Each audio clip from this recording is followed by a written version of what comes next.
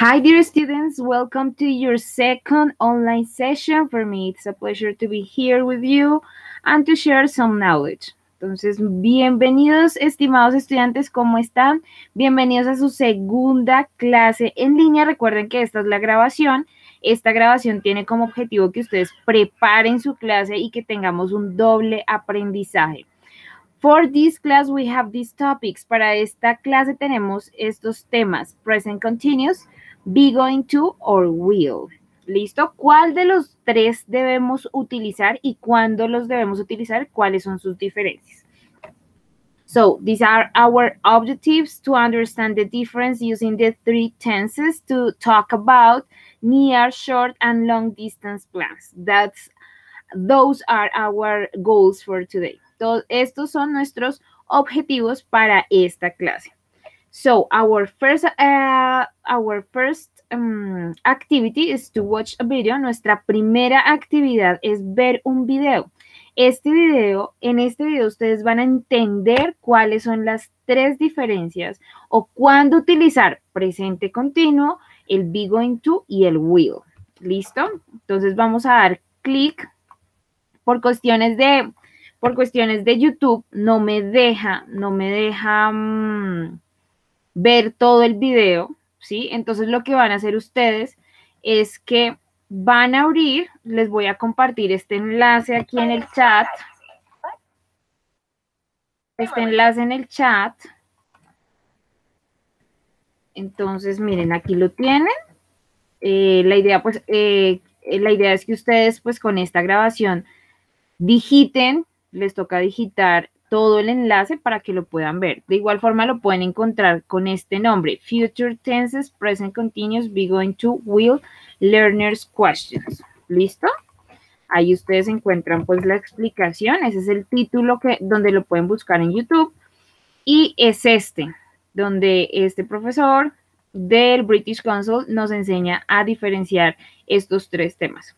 ¿Listo? Una vez ustedes lo ven y tienen una idea, la idea es que pues tengan una idea. Igual si les parece que eh, el, señor está hablando muy rápido, acá en configuración le pueden bajar el, la velocidad a 1.2 o 1.5 para que ustedes puedan entender.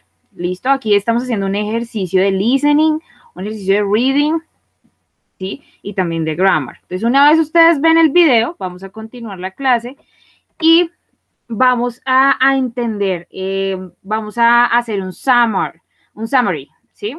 Entonces, vamos a concluir que el presente continuo se utiliza para future arrangements. Quiere decir que yo sé, tengo claro eh, cuándo es, ¿sí? En qué tiempo y en qué fecha voy a realizar esa acción. Entonces, aquí tenemos un ejemplo. We are getting married in June, ¿sí? Porque yo sé, lo, lo expreso en presente continuo porque es un plan, un acuerdo que yo hago y que tengo evidencia de lo que va a suceder, ¿sí? Entonces, aquí es porque yo, o sea, yo puedo expresar esta oración de We are getting married in June porque yo tengo las invitaciones, porque ya tengo reservado el sitio, ¿sí? Porque ya tengo todo listo. Entonces, por eso lo expreso en presente continuo. Presente continuo no se puede utilizar para predicciones, porque cuando hablamos del futuro, generalmente hablamos de predicciones. Ojo, presente continuo no se utiliza para predecir. Luego hablamos de will. Will nos, eh, se utiliza para una decisión espontánea, es decir, está sucediendo algo, digamos, estamos en clase y empieza a llover. Entonces, ¿cuál es la decisión eh, espontánea que ustedes dicen? De pronto ustedes no pueden escuchar, voy a cerrar la ventana, eh, voy a subir el volumen al, al, al a la clase o subiré el volumen a la clase, cerraré la ventana.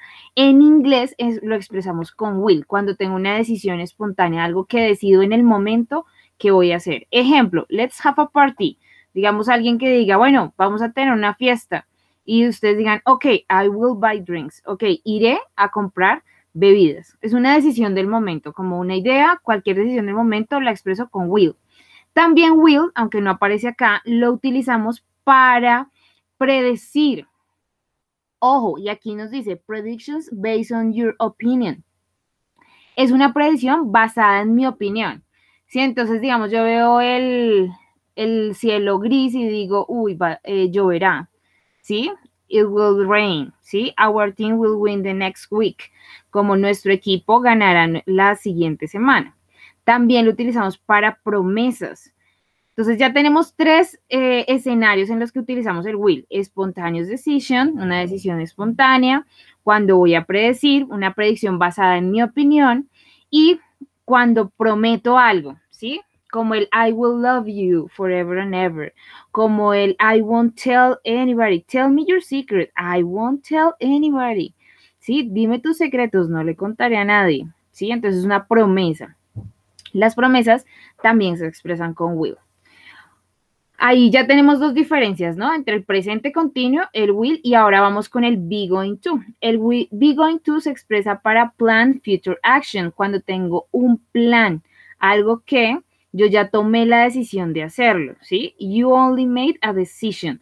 Pero ojo, aquí es solo una decisión. Utilizamos el be going to cuando solo es una decisión y el present continuous cuando ya tenemos evidencia de que ya eso va a suceder, ¿sí? Ejemplo, mom, dad, we are going to get married. Eso es como voy a casarme, pero entonces no tengo ni fecha, tampoco tengo invitaciones, no sé cómo, cuándo ni dónde, pero voy a casarme. Sí, es una decisión. Solo es la decisión de hacerlo. Prediction, based on present evidence or fact. Look, that base is going to fall. Aquí ustedes me van a decir, profe, ¿se parece mucho al presente continuo? Sí, porque también utilizamos el be going to cuando tenemos una evidencia en el presente o un hecho en específico. Sí, como acá, look at that base is going to fall. ¿Sí? Como mira, ese florero se va a caer. ¿Sí? Entonces aquí también utilizamos el be going to cuando vamos a, tomamos una decisión y cuando vamos a hacer una predicción, mire que el present continuous, ahí está la diferencia. Present continuous no se utiliza para predecir, mientras que el be going to en cuanto a predicciones sí se utiliza y porque tenemos una evidencia. Entonces ahí utilizamos el be going to. Entonces ahí están las tres diferencias de cómo utilizar present continuous, will, a be going to. Here we have the structure. Lo siguiente es tener claro la estructura. Entonces con el will que es un verbo modal, el will como tal no significa nada, chicos. No lo va a traducir a nada. Lo que va a hacer es que le va a poner el futuro al verbo. En español es el rare del verbo, digamos, llamar, llamaré, ¿sí? Llamará. Entonces ahí lo pongo en futuro. Eso es lo que hace el will en la oración. Entonces, muy importante, el will como tal solo no se puede expresar, tiene que estar acompañado de un verbo. En afirmaciones, I will play y va el complemento. En negaciones, I won't play. Puede utilizarse el will y el won't con cualquier sujeto. Aquí no importa si es tercera persona o no. En preguntas, will you play something? Will you play video games with me the next Saturday? ¿Sí? Yes, I will or no, I won't. Así es como hago las afirmaciones, las negaciones y las preguntas. Para afirmar sujeto, luego al will, luego al verbo sin ninguna modificación, no le pongo nada al verbo y un complemento. Para negar utilizo el will not y en contracción va el won't, entonces sujeto, el won't, el, el verbo y un complemento. Para preguntar pongo de primeras, yo siempre les digo, inglés siempre se repite, ¿sí?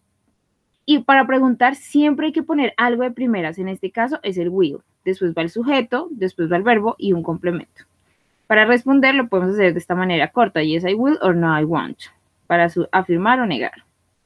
O simplemente, si quiero una respuesta larga, utilizo la estructura de la afirmación o la estructura de la negación.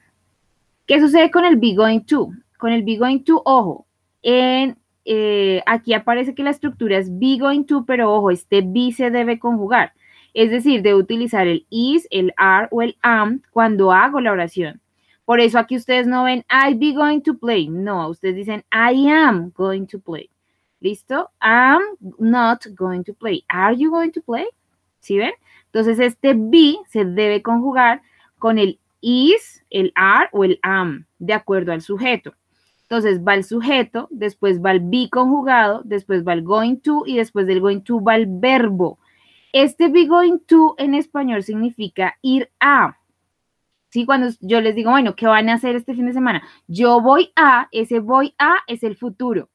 que expresa un plan. Y después del voy a va un verbo. Yo voy a acampar, yo voy a ir de compras, yo voy a eh, estudiar inglés. Si ven? Después del voy a tiene que haber un verbo.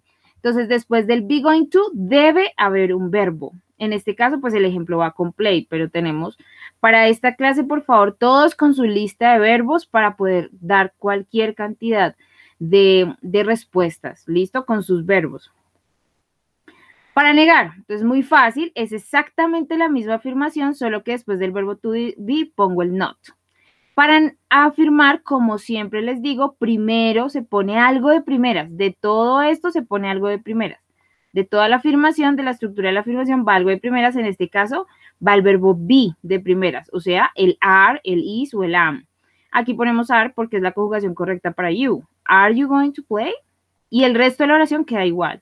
Después del play, recuerden que se puede poner un complemento. ¿Listo? Y para responder yes, I am o no, I am not, si quiero responder con una oración completa, recuerden que yo siempre les digo que oraciones completas, oraciones completas. Entonces, para afirmar, aquí ustedes tienen, o sea, si voy a responder con una afirmación, voy a utilizar esta estructura, sujeto, be going to, después verbo y después complemento. Si voy a negar, sujeto, el be, después not, que es la negación, el going to, el verbo y un complemento. Eso es el be going to, el will. Ya sabemos cuál es la estructura, ya sabemos cuándo utilizar estos verbos. Listo, estos tiempos. Ahora voy con presente continuo, que ya todos lo saben, igual los voy a repasar, present continuous. Entonces la diferencia es que tengo un sujeto, en este caso el I, tengo el verbo be y el verbo, el verbo be es auxiliar y el verbo principal tiene que ir con ing. ¿sí? El presente continuo es el ando, endo en español. Yo estoy hablando, ¿sí? El estoy es el verbo be, I am, hablando el verbo con ando, endo, que en inglés es el ing. ¿Sí? Entonces, I am speaking in English. I am teaching the structures. ¿Listo? Va con ing y un complemento. ¿Cómo lo niego? Muy fácil. Simplemente después del be pongo el not. Y como pregunto, pongo algo de primeras. ¿Qué voy a poner de primeras? el verbo be. Recuerden que en presente continuo está solo el verbo be y el verbo principal con ing. ¿Cómo contesto? Entonces dirían, ay, se puede contestar igual el be going to y el present continuous. Sí, sí se puede contestar igual. Pero si voy a contestar con una oración completa, la estructura cambia. ¿Listo? En presente continuo, el verbo va con ing y con el be going to, el verbo va normalito, sin ninguna modificación. ¿Listo? Esas son las estructuras del Be Going To. Recuerden que deben tomar nota. Si hay algo que no les queda claro, vuelvan a revisar. Pueden entrar las sesiones de dudas, inquietudes para preguntarme sobre este tema si hay algo que no les queda claro. Y vamos, entonces nuestra primera pregunta que les voy a hacer es de acuerdo a estas imágenes. Be going to versus present continuous. He's going to swim. This is be going to. He is going to swim. O sea, que va a hacerlo. Si es una decisión. He is swimming. Present continuous. Él está haciendo eso. ¿Sí? También, o sea, puedo utilizar el presente continuo. Yo puedo decir, él está nadando a las 8 de la noche. ¿Sí? Entonces, a esa hora él está haciendo esa acción. Por eso lo puedo, como es una, un arrangement, como es un arreglo, algo que yo sé que voy a hacer y que tengo evidencia de que va a suceder, entonces lo utilizo presente continuo. Y el be going to es una decisión, un plan que yo digo, bueno, lo voy a hacer. Which tense do, la primera pregunta que les tengo y me van a responder con oraciones completas, chicos. Which tense do we use to talk about future plans and intentions? De la misma pregunta sale la respuesta. We use to talk about future plans and intentions. Y ahí me dicen qué. ¿Cuál es el tiempo? Be going to, present continuous, will, which one? The second, which tense do we use to talk about actions happening now at the moment of speaking? Ahí ustedes me van a decir cuál tiempo. ¿Listo? Con una oración completa. No solamente be going to, no, oraciones completas. ¿Listo, chicos? Let's check if you got it right. Complete the following sentences uh, with the correct future tense. So here we have different different exercises. According to the context, please complete it. De acuerdo al contexto, ustedes lo van a completar. Ojo, no solamente van a tener en cuenta cómo completar, sino también cómo pronunciar, ¿sí? My father, ¿cómo digo este verbo? ¿En qué tiempo va a ir? Will go o my father is going to go to Australia next week o digo my father is going to Australia next week. ¿Sí? Entonces, ¿cuál de los tres tiempos utilizo? Y deben saber pronunciarlo. Entonces, por favor, voy a leer estas oraciones para que ustedes sepan la pronunciación de cada una de estas palabras. What are your plans for the future? I. El be tiene que estar conjugado, entonces hay diferentes opciones. A famous actor. I don't think schools, este verbo se pronuncia change, very much in the next few years. Our computer broke down yesterday, so we buy a new one soon. Recuerden que estoy solamente dando la pronunciación porque ustedes deben aquí completar con el futuro correcto. Si es futuro presente perfecto, excuse me, si es presente continuo, en futuro, si es con el will o si es con el be going to, de acuerdo a la situación. Look at that man on the bridge. He Miren, es una situación del momento. Miren ese hombre en el puente. look at that man uh, on the bridge. He. Si ya hay una evidencia y si vamos a predecir cuál es el tiempo que utilizamos, pues ahí ustedes ya saben. Y esto se, esto se pronuncia jump. I think that people live on the moon by 2050. Peter is not studying hard enough. He fail his exams. The sun is shining and the sky is so blue. It be a nice day. The phone is ringing. Okay, don't worry. I answer it. I hope robots do the housework in the future. I can't come to the cinema with you. I met John at uh, 8. I can't find my glasses. Don't worry. I help you find them. ¿Ok? Entonces, de acuerdo al contexto, me van a, a completar. Nuestra siguiente actividad es la siguiente. Les voy a dar el inicio de una oración y ustedes lo van a completar. ¿sí? Use the sentence starter and continue the phrase with the future tense you consider appropriate. ¿Ok? Entonces, ustedes, digamos, yo les digo, next weekend, ustedes qué podrían poner, qué oración. Entonces ustedes me van a decir toda una oración que vaya de acuerdo a este inicio. Tomorrow morning, I can meet you tomorrow because tonight at 8 I am. Next month, I'm nervous about uh, tomorrow because after class next year, I can't go to class tomorrow because the phone is ringing. I, on Sunday afternoon, I, I have a busy day tomorrow because. Por último, le, como summary, como recordatorio, estas son las expresiones que se utilizan generalmente en el futuro. Entonces ahí están algunos ejemplos para que ustedes lo tengan en cuenta y puedan también tenerlo eh, en cuenta para desarrollar sus oraciones. Esta es nuestra clase. Mm, por último, recuerden que siempre vamos a tener un quiz sorpresa donde vamos a poner a prueba lo que hemos aprendido durante la sesión. Ha sido un gusto compartir con ustedes. Cualquier, por favor, cualquier pregunta que tengan, no duden en contactarme. Que tengan un excelente día, cualquiera que este sea. Bye bye, dear students.